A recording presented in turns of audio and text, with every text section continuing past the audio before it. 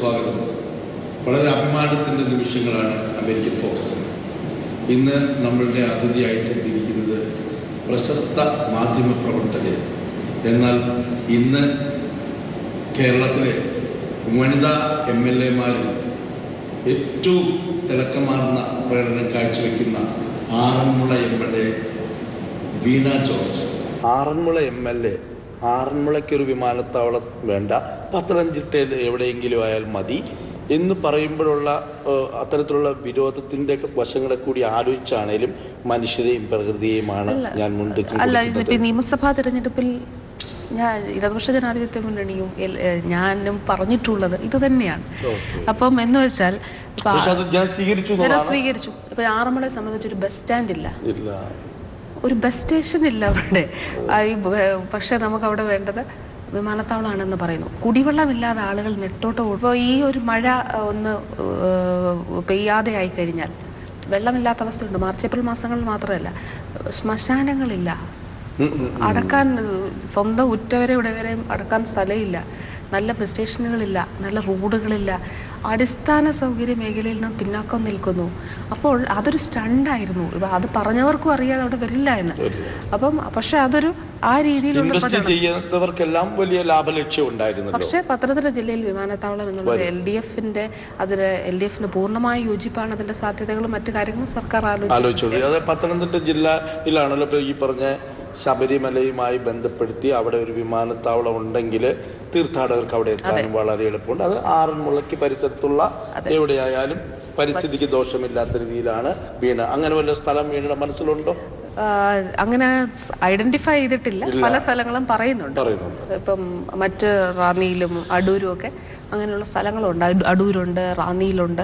അപ്പം നമുക്ക് ഫോറസ്റ്റുമായിട്ട് അടുത്ത മേഖലകളിൽ വിമാനത്താവളം വരുന്നതിനൊക്കെ പ്രശ്നങ്ങളുണ്ട്. അതുകൊണ്ട് അങ്ങനെ അല്ലാത്ത സ്ഥലങ്ങൾ അടൂരും റാന്നിയിലും ഒക്കെ അങ്ങനെ. വിശാലമായ ദോഷമില്ലാത്ത ജനങ്ങളുടെ ജീവിതം മാറ്റി പാർപ്പിക്കേണ്ടി വരാത്ത സ്ഥലങ്ങളുണ്ട് എന്നുള്ളതാണ്. അപ്പോൾ ഈ ആധുനിക രാഷ്ട്ര രാഷ്ട്രീയ മണ്ഡലങ്ങളിലെ ഏറ്റവും വലിയ പ്രശ്നം ഈ പ്രകൃതിയെയും മനുഷ്യനെയും അവരുടെ നന്മയ്ക്ക് വേണ്ടി ഒരുപോലെ കൊണ്ടുപോകുക എന്നുള്ളതാണ് ആ- ഒരു കാര്യത്തിൽ ഒരുപക്ഷെ കേരളത്തിലെ എം എൽ എമാരിൽ ഈ ഒരു പ്രശ്നം പറഞ്ഞ് വോട്ട് തേടിയ ഒരാളെന്നുള്ള രീതിയിൽ ഞാൻ ചോദിക്കുകയാണ്.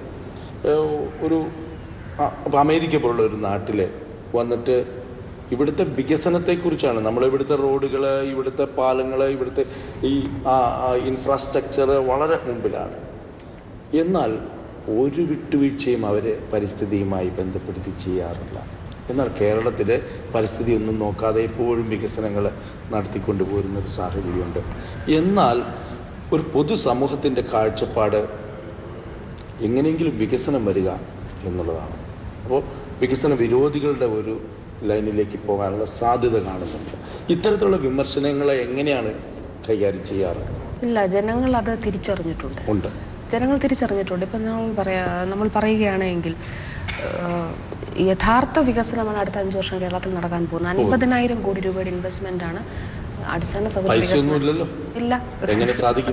ഞങ്ങൾ കിഫ്ബിയിലൂടെ ബോണ്ടുകൾ വഴിയും മറ്റുമായി ഫണ്ട് റേസ് ചെയ്ത് അൻപതിനായിരം കോടി രൂപയുടെ ഇൻവെസ്റ്റ്മെന്റ് ഇൻഫ്രാസ്ട്രക്ചർ മേഖലയിൽ ഉണ്ടാവാൻ പോവുകയാണ്. എല്ലാ എല്ലാ മേഖലകളിലും ആ രീതിയിലുള്ള മാറ്റം ഉണ്ടാകും ഞാൻ ചോദിക്കട്ടെ ഇടതുപക്ഷ മുന്നണി അധികാരത്തിൽ വരുന്നതിന് മുമ്പുള്ള തെരഞ്ഞെടുപ്പ് യുദ്ധത്തിൽ പറഞ്ഞിരുന്നു ഒരു തസ്കര സംഘമായിരുന്നു. ഇതിനു മുമ്പ് ഭരിച്ചുകൊണ്ടിരുന്നവർ അവരങ്ങനെ മത്സരിച്ച് ഈ പൊതുരംഗത്ത് നിന്ന് കൈയിട്ട് വാരിയായിരുന്നു. അങ്ങനെയൊക്കെ വരുമ്പോൾ സാമ്പത്തിക രംഗം അത് വളരെ താറുമാറായിട്ട് കിടക്കുകയാണല്ലോ. നിങ്ങൾ അമ്പതിനായിരം കോടി രൂപയുടെ വികസനം പറയുന്നു. ഇത് പ്രാക്ടിക്കലായിട്ട് നടക്കുന്ന കാര്യമാണോ? നിശ്ചയമായി നടക്കും എങ്ങനെ? ലോൺ എടുക്കും. ലോൺ എടുക്കും എന്നുള്ളതല്ല. ഇപ്പം ഞാൻ പറയട്ടെ ഇപ്പം കേരളത്തിൽ എത്ര പത്ത് മെട്രോ എങ്ങനെയാണ് നടക്കുന്നത്? കൊച്ചി മെട്രോ എങ്ങനെയാണ് നടക്കുന്നത്? വിഴിഞ്ഞം എങ്ങനെയാണ് നടത്താൻ പോകുന്നത്? അപ്പോൾ ഇതിനുള്ള മോഡലുകൾ കേരളത്തിൽ തന്നെ ഉണ്ട്. അപ്പോൾ നാം പറയുന്നത് ഇപ്പോൾ ചില മേഖലകളിൽ ഇത് ആ നിർമ്മാണം പൂർത്തിയായി കഴിഞ്ഞാൽ അവർ തന്നെ അത് കൊടുക്കേണ്ട സാഹചര്യം. ഇപ്പം റോഡുകൾ ഉൾപ്പെടെയുള്ളവ സർക്കാർ അത് കൊടുക്കേണ്ട. ഒരു ഘട്ടം കഴിഞ്ഞാൽ സർക്കാരിന് അത് കൊടുക്കാൻ കഴിയുന്ന സാഹചര്യമുണ്ട്. ഈ പറഞ്ഞത് ഇതിപ്പോൾ നടക്കാൻ പോകാത്ത കാര്യമാണ് എന്ന് പറയുമ്പോൾ ഇതിനുള്ള മുൻമാതൃകകൾ കേരളത്തിൽ തന്നെ ഉണ്ടല്ലോ. അപ്പോൾ ഞാൻ ഇടതുപക്ഷ ജനാധിപത്യ മുന്നണി സർക്കാർ കേരളത്തിൽ അധികാരത്തിലെത്തുമ്പോൾ വലിയ പൊതുക്കടം കേരളത്തിലുണ്ട് നിലവിലുണ്ട്.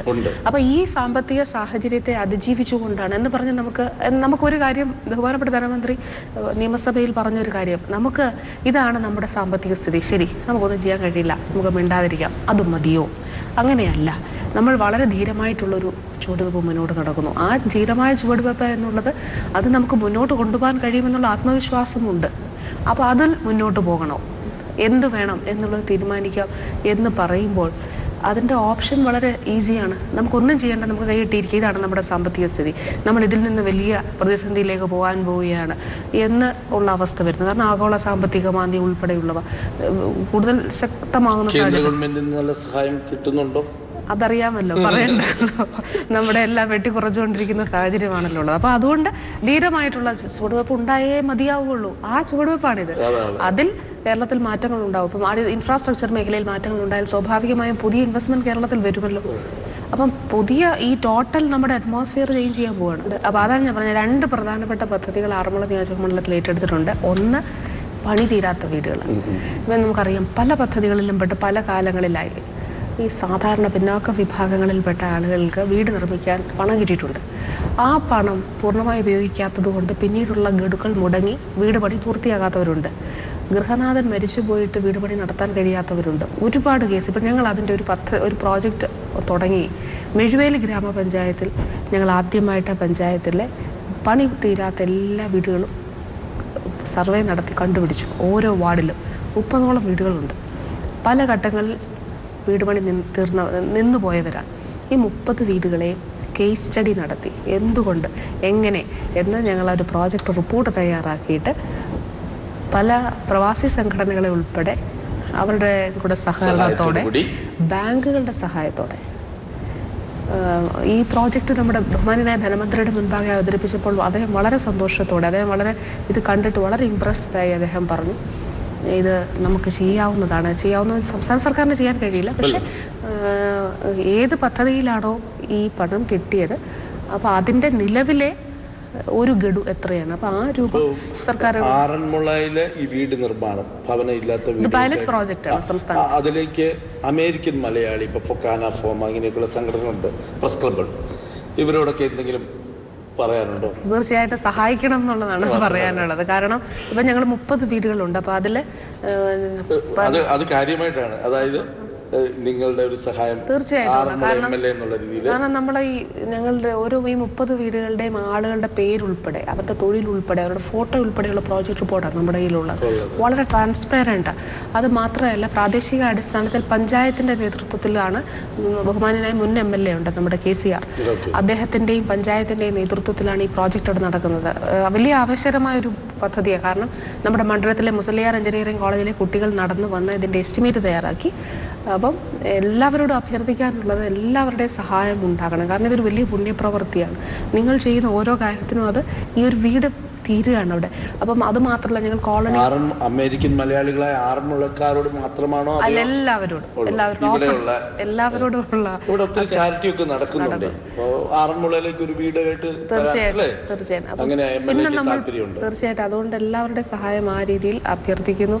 ഒപ്പം നമ്മൾ ഈ കോളനികൾ കേന്ദ്രീകരിച്ച് പഠന വീടുകൾ ഇപ്പോൾ തീർക്കുകയാണ്. പഠന വീടുകൾ എന്ന് വെച്ചാൽ നമ്മൾ ഇപ്പം സ്മാർട്ട് ക്ലാസ് റൂം എട്ട് മുതൽ പത്ത് വരെ എല്ലാ സ്കൂളുകളിലും സർക്കാർ സ്കൂളുകളിലും വരാൻ പോവുകയാണ്. അതായത് മറ്റ് പ്രൈവറ്റ് മേഖലയിൽ നമുക്ക് ലഭിക്കുന്ന വിദ്യാഭ്യാസത്തിന്റെ മേന്മയേക്കാൾ നല്ല മികച്ച വിദ്യാഭ്യാസം നമുക്ക് പൊതു- പൊതുവിദ്യാ- പൊതുവിദ്യാഭ്യാസ മേഖലയിൽ കിട്ടാൻ പോവുകയാണ്. ഒപ്പം ഈ കോളനികളിൽ നമുക്കറിയാം ഈ കുട്ടികൾ വിദ്യാഭ്യാസപരമായിട്ട് പിന്നിൽ നിൽക്കുന്ന സാഹചര്യം ഉള്ളിടത്ത് ലൈബ്രറികൾ കേന്ദ്രീകരിച്ച് വൈകുന്നേരങ്ങളിൽ വളരെ ഇന്റൻസ് ആയിട്ടുള്ള പഠന പ്രക്രിയ ആരംഭിക്കാൻ പോവുകയാണ്. ആലപ്പുഴയിലുണ്ട്. ഞാൻ ഡോക്ടർ പോയി പോയി ഞാൻ അവിടെ പോയിരുന്നു. അപ്പം അത് അതിന്റെ അതിന്റെ മാതൃകയിൽ ആറന്മുള നിയോജക മണ്ഡലത്തിൽ ആറന്മുളയിൽ എന്തെങ്കിലും പ്രത്യേകത? അതായത് ഇപ്പോൾ ഈ ശുചീകരണ പ്രവർത്തനങ്ങൾ ഇപ്പോൾ വേസ്റ്റ് മാനേജ്മെന്റ്. അത് രണ്ടാമത്തെ പ്രോജക്റ്റ് ഞാൻ പറഞ്ഞത് ഒന്ന് ഹൗസിന്റെ ഹൗസിംഗ് പ്രോജക്റ്റ് രണ്ട് സംസ്ഥാനത്ത് തന്നെ ആദ്യമായിട്ട് പ്ലാസ്റ്റിക് സംസ്കരണം സംബന്ധിച്ച് പൈലറ്റ് പ്രോജക്റ്റാണ് എല്ലാ നമ്മുടെ പന്ത്രണ്ട് പഞ്ചായത്ത് മുനിസിപ്പാലിറ്റിയുണ്ട് എല്ലാ വിദ്യാർത്ഥികൾ വഴിയും കുടുംബശ്രീ പ്രവർത്തകർ വഴിയും വലിയ ക്യാമ്പയിൻ നടത്താം. അപ്പോൾ ഒരു വീട്ടിലെ ഒരു കുട്ടി ആ വീട്ടിൽ തലേദിവസം ഉപയോഗിക്കുന്ന മിൽമയുടെ ഒരു പാലിന്റെ കവറാകട്ടെ ഒരു ചെറിയ പ്ലാസ്റ്റിക് കുപ്പിയാകട്ടെ സ്കൂളിലെ ബിന്നിൽ കൊണ്ടുവന്ന് നിക്ഷേപിക്കുന്നു.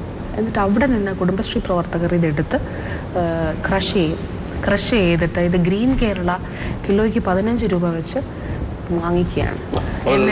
റെഡി ആയിട്ടുണ്ട് എന്നിട്ട് ആ പ്ലാസ്റ്റിക് സംസ്ഥാനത്തെ മുഴുവൻ എവിടെയൊക്കെ റോഡ് നിർമ്മാണത്തിന് ആവശ്യമായി വേണോ ഇത് ആറന്മുളയിൽ ഇവിടെ നിന്ന് കൊടുക്കാം എന്നുള്ളൊരു കൂടെ ടാറിന്റെ കൂടെ മിക്സ് ചെയ്ത് ഉപയോഗിക്കാൻ വേണ്ടി. അപ്പോൾ അത് പ്ലാസ്റ്റിക് സംസ്കരണത്തിന് വലിയൊരു പ്രോജക്റ്റ് ഞങ്ങൾ തയ്യാറാക്കിയിട്ടുണ്ട്.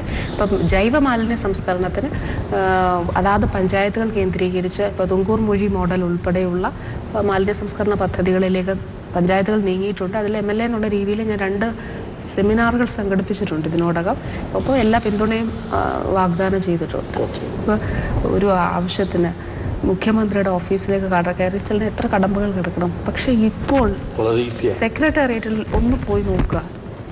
സാധാരണക്കാരായിട്ടുള്ള ആളുകൾ ഒരു നേതാക്കളുടെ അകമ്പടിയോ ശുപാർശയോ ഇല്ലാതെ ഇന്നയാളെ എനിക്ക് മുഖ്യമന്ത്രി കാണാൻ പോവുകയാണ് എന്ന് പറഞ്ഞ ലിഫ്റ്റിൽ കയറി പോകുന്ന കാഴ്ച കാണാൻ കഴിയും. നമുക്ക് പരിശോധിക്കാം. ഒന്നും തടയുന്നില്ല. തടയാൻ പറ്റില്ല. സാധാരണക്കാർക്ക് കാണാൻ കഴിയുന്ന. അത് സാധാരണക്കാർക്ക് ഒരു ആവശ്യം നടന്നതിന് അവൻ രൂപ കൊടുക്കണ്ട. രൂപ കൊടുക്കുന്നുണ്ട് ഇപ്പോൾ തദ്ദേശ സ്വയംഭരണ വകുപ്പ് കഴിഞ്ഞ ഈ നിയമസഭാ സമ്മേളനത്തിൽ ബഹുമാനപ്പെട്ട ശ്രീ കെ ടി ജലീൽ നിയമസഭയിൽ അറിയിച്ച കാര്യമാണ്. വെബ്സൈറ്റിൽ ഒരു ഇത് ഓപ്പൺ ഇത് ചെയ്യാണ്. കാരണം നമ്മുടെ ആളുകൾക്ക് ഈ ഫോൺ സംഭാഷണം ഇപ്പോൾ ആരെങ്കിലും എന്തെങ്കിലും കാര്യത്തിന് പോട്ടെ. രൂപ ചോദിക്കുകയാണെങ്കിൽ ഒരു ഫോണിലെടുക്കുന്ന ഒരു ക്ലിപ്പ് വീഡിയോ ക്ലിപ്പ്. ആ വീഡിയോ ക്ലിപ്പിംഗ് നിങ്ങൾക്ക് ഇടാം. ഉടൻ നടപടിയെടുക്കും ഫോൺ സംഭാഷണം ഇടാം. ഇനി അതൊന്നുമല്ല നമുക്ക് ഇതൊന്നും ഇങ്ങനെയുള്ള തെളിവുകളില്ല. നിങ്ങളൊരു പരാതി എഴുതി അയക്കുക പരാതിയിൽ അന്വേഷണം നടക്കും. അന്വേഷണം നടക്കും. അന്വേഷണം നടന്നിട്ട് ശരിയായിരുന്നുണ്ടെങ്കിൽ നടപടിയെടുക്കും ഇതാണ് ആ രീതിയിലുള്ള മാറിയ അന്തരീക്ഷമാണ് കേരളത്തിലുള്ളത്. അത് മന്ത്രിമാർക്ക് അങ്ങനെ ഒരു നിശ്ചയമുണ്ട്. എന്നാൽ അത് മുമ്പോട്ടുള്ള പോക്കിന് വികസനത്തിന്റെയൊക്കെ കാര്യത്തിൽ ഒട്ടൊക്കെ വളരെ ഫാസ്റ്റായിട്ട് ചില തീരുമാനങ്ങൾ എടുക്കേണ്ടി വരും. അപ്പം ചിലപ്പോഴൊക്കെ അഴിമതിയുടെ കാര്യങ്ങളൊക്കെ അതിലേക്ക് കടന്നു വരാൻ സാധ്യതയുണ്ട്. അതൊന്നും എനിക്ക് പ്രശ്നമല്ല. എനിക്ക് കാര്യം മുമ്പോട്ട് കൊണ്ടുപോകേണ്ടതാണ് ആവശ്യം. എന്ന് ധൈര്യത്തോടെ അല്ല, ഈ ഒരു പ്രശ്നം- മന്ത്രിമാരെടുക്കുന്നുണ്ട് എന്നാണ് അല്ല ഈ ഒരു പ്രശ്നം ഉണ്ടായിട്ടില്ല. ഇപ്പൊ സർക്കാരിനെ സംബന്ധിച്ചിടത്തോളം ഞാൻ പറയട്ടെ. ഇപ്പം കേരള ജലവിഭവ വകുപ്പിന്റെ കിലോമീറ്റർ കണ അല്ലെങ്കിൽ മീറ്റർ കണക്കിന് പൈപ്പുകൾ കാലഹരണപ്പെട്ട പൈപ്പുകൾ മാറാൻ നിശ്ചയിച്ചു. തീരുമാനം ഉണ്ടായി മാറാൻ പോവുകയാണ്. ലീക്കേജ് ആണ് ഏറ്റവും വലിയ നമ്മുടെ പ്രശ്നം. തുരുമ്പ് പിടിപ്പിച്ച തുരുപ്പിടിച്ച പൈപ്പുകൾ നൂറ് വർഷം പഴക്കത്തിലേക്ക് പോകാൻ പറ്റുന്ന നല്ല ആരാണ് തടഞ്ഞത്? ആരും തടഞ്ഞില്ല. തീരുമാനം ഉണ്ടായത് ഇംപ്ലിമെന്റ് ചെയ്യാൻ പോവുകയാണ്. എല്ലാ ഇപ്പം ഞാൻ കുടുംബ ആരോഗ്യ മേഖലയിൽ നമ്മുടെ ഒരു പബ്ലിക് ഹെൽത്ത് സെന്ററിനെ കുടുംബാരോഗ്യ കേന്ദ്രമാക്കി മാറാൻ പോവുകയാണ്. പല സ്ഥലങ്ങളിലും നദികളും തടാകങ്ങളിലും ഒക്കെ പായൽ വന്ന് നിറഞ്ഞിട്ട് കൃഷിക്കൊക്കെ പ്രശ്നമാണ്. അതിലൊന്നും ഒരു ആക്ഷൻ എടുക്കാൻ പറ്റുന്നില്ല. ഗവൺമെന്റ് എന്തുകൊണ്ട്? അത് ഇപ്പോൾ ഞാൻ പറയട്ടെ ഇപ്പോൾ ഞാൻ പറയാം ഈ ഈ സർക്കാരിന്റെ നയം എന്ന് പറയുന്നത് നമ്മുടെ കുളങ്ങളും തോടുകളും വൃത്തിയാക്കി അതിന്റെ പായലിൽ നിന്നൊക്കെ മുക്തമാക്കി അതിനെ വൃത്തിയാക്കിയിടുക എന്നുള്ളത് കാരണം അതിന്റെ ഉദ്ദേശം നമ്മുടെ സ്വാഭാവികമായിട്ടുള്ള ജലസ്രോതസ്സുകളെ സംരക്ഷിച്ചുകൊണ്ട് ഭൂഗർഭജല സംരക്ഷിക്കുക എന്നുള്ളതാണ്. ഇപ്പം ഈ സർക്കാരിന്റെ അടുത്ത ഞാൻ ഓരോ വകുപ്പുകളിലായിട്ട് ഞാൻ പറയുകയാണെങ്കിൽ തദ്ദേശ സ്വയംഭരണ വകുപ്പിന്റെ കിണറുകളിലെ ജലം സംരക്ഷിക്കുന്നത് സംബന്ധിച്ച കിണർ റീചാർജിംഗ് പദ്ധതി. ഓരോ മണ്ഡലത്തിലും ഒരു പഞ്ചായത്തിനെ ഈ വർഷം തിരഞ്ഞെടുത്ത് കഴിഞ്ഞ പദ്ധതി ഇപ്പം ഇരുപതാം തീയതി ഉദ്ഘാടനം നടക്കാൻ പോവുകയാണ്. അപ്പോൾ അതിൽ ഈ കിണറുകൾ ശുദ്ധീകരിക്കുക കിണറുകളിലെ കിണറുകളിലെ വെള്ളങ്ങൾ റീചാർജ് ചെയ്യുക. അതിന്റെ കിണ വെള്ളത്തിന്റെ അളവിനെ വർദ്ധിപ്പിക്കുവാൻ വേണ്ടി എന്തൊക്കെ ചെയ്യാൻ കഴിയുമോ അത് ചെയ്യുക എന്നുള്ളതാണ്. അപ്പം ഇതെല്ലാവരും കൂട്ടിയിട്ടുള്ള ഏകോപനമുണ്ട്. ഏകോപനം വളരെ സങ്കീർണമായ ഒരു കാര്യമാണ്. അതായത് ഇന്നലെ വരെ ഉണ്ടായിരുന്ന ഉദ്യോഗസ്ഥന്മാരൊന്നും കേരളത്തിൽ മാറിയിട്ടില്ല. മന്ത്രിമാർ മുഖ്യമന്ത്രി മുന്നണി ഇതെല്ലാം മാറി. ഇവരുടെ ചില ദൃഢനിശ്ചയവും നിശ്ചയദാർഢ്യവും മാത്രമാണ് ജനങ്ങളുടെ മുമ്പിലുള്ളത്. എന്നാൽ പഴയ താപ്പാനകളായ ഉദ്യോഗസ്ഥന്മാർ ഐ എ എസുകാരുടെ ലോബി ഇതെല്ലാം കേരളത്തെ എപ്പോഴും പുറകോട്ട് വലിച്ചുകൊണ്ടിരുന്നവരാണ്. അവരുടെ നടുക്ക് ഒരു മന്ത്രിക്ക് ഒരു പൊതുപ്രവർത്തകന് എങ്ങോട്ട് ഈ പറഞ്ഞ ലക്ഷ്യങ്ങളോട് മുമ്പോട്ട് പോകാൻ പറ്റും? പ്രാക്ടിക്കൽ ആണോ പ്രാക്ടിക്കൽ ആണ്. അതാണല്ലോ നടക്കുന്നത്. പ്രാക്ടിക്കൽ ആണ് ഇപ്പോൾ നിങ്ങൾക്ക് ഒരു ഫയൽ നമുക്കൊരു ഒരു മന്ത്രിയുടെ മുന്നിൽ എത്തുന്ന ഒരു ഫയൽ സംബന്ധിച്ച് ഇപ്പോൾ എന്താണുള്ള വ്യത്യാസം?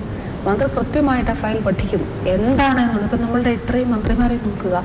എത്ര കഴിവുള്ള പ്രഗത്ഭരായിട്ടുള്ള മന്ത്രിമാരാണുള്ളത്. ഒരു കാര്യം എല്ലാ കാര്യങ്ങളും പഠിച്ചു പോകുന്നുണ്ടോ? എല്ലാ വകുപ്പുകളും. കാരണം വളരെ അഭിമാനത്തോടെ. ബ്ലോക്ക് വരില്ലേ? ഒരു ബ്ലോക്ക് ഒരു ബ്ലോക്കും ഇല്ല ഒരു ബ്ലോക്കും ഇല്ല. ബ്ലോക്കുകൾ ഉണ്ടാവില്ല. ഏഹ് നാളെ ഒരു മന്ത്രി ആയിട്ട് ഉദാഹരണം. വീണ ജോർജിനെ ഒരു മന്ത്രിസഭയിൽ എടുക്കുകയാണെങ്കിൽ ഏത് വകുപ്പിനോടായിരിക്കും കൂടുതൽ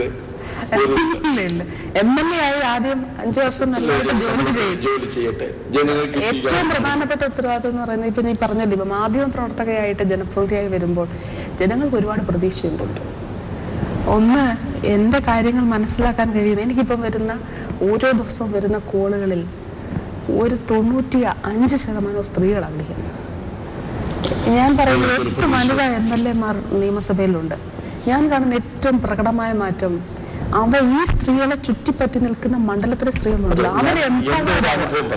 അഭിമുഖത്തിൽ പറയാമെന്ന് എനിക്കറിയില്ല. പക്ഷേ സ്വാശ്രയ പ്രശ്നം ഒരു ഘട്ടം കഴിഞ്ഞപ്പോൾ ആരോഗ്യമന്ത്രിയുടെ ഒരു പത്രപ്രസ്താവനയും ഒരു ഇന്റർവ്യൂസും അവർ നടത്തിയ കേട്ട ഒരാൾക്ക് ഒരിക്കലും ആ പൊതുപ്രവർത്തകയ്ക്ക് അസാമാന്യമായ കാര്യങ്ങളെക്കുറിച്ചുള്ള പഠിച്ച ആത്മവിശ്വാസവും ജനങ്ങളുടെ തെറ്റിദ്ധാരണ മാറ്റാനുള്ള അത്ര ശക്തിയുള്ള ഒരു മന്ത്രിയായിട്ട് എനിക്ക് തോന്നിയായിരുന്നു. എനിക്ക് നല്ല കേട്ട ആർക്കും ശാസ്ത്രീയത്തെ സംബന്ധിച്ചുള്ള ആ ഇഷ്യൂ ഉണ്ടായ സമയത്ത് ആരോഗ്യമന്ത്രിക്ക് എപ്പോ വേണമെങ്കിലും കാൽ പിടയ്ക്കാമായിരുന്നു.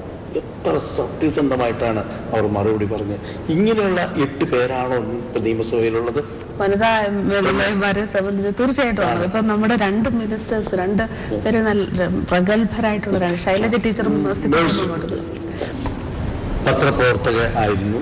ഇപ്പോൾ പൊതുപ്രവർത്തക എം എൽ എ ആയി. ഇനി എന്താ ഭാവി? ഇതായിട്ട് തുടരുമോ?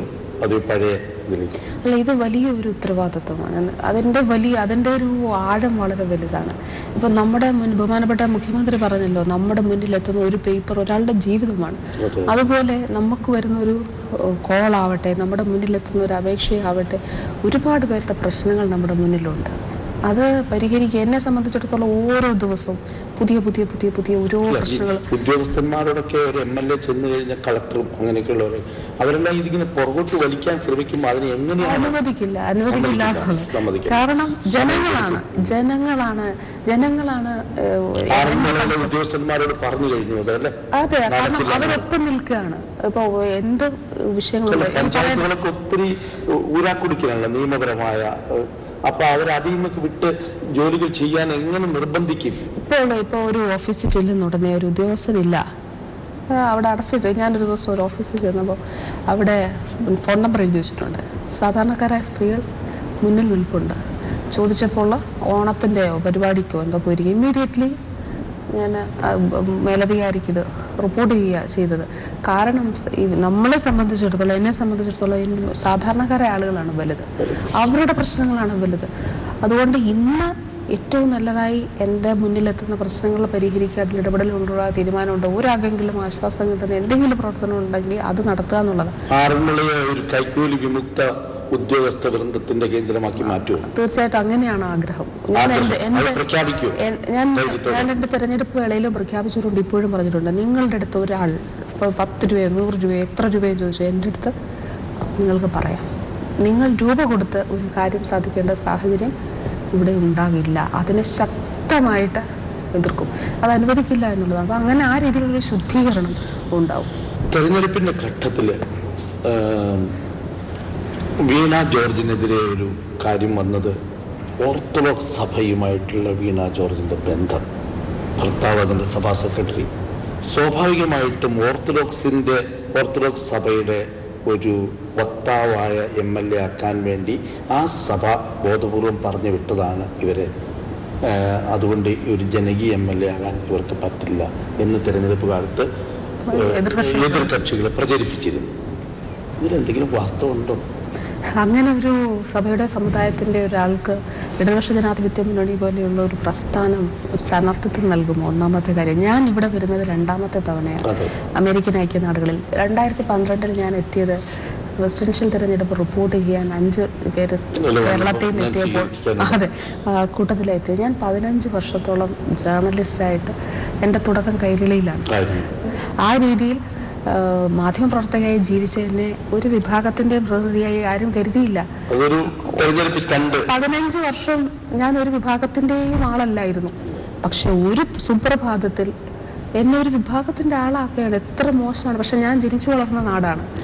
അതുകൊണ്ട് ജനങ്ങൾക്ക് എന്നെ അറിയാം. പിന്നെ സാധാരണക്കാരായ ആളുകളാണ്. സാധാരണക്കാരായ സ്ത്രീകളും പുരുഷന്മാരും യുവാക്കളും യുവതികളുമാണ് ഈ തെരഞ്ഞെടുപ്പിനെ ഏറ്റെടുത്തത്.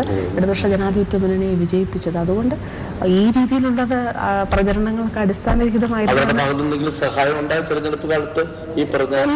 എല്ലാ വിഭാഗം.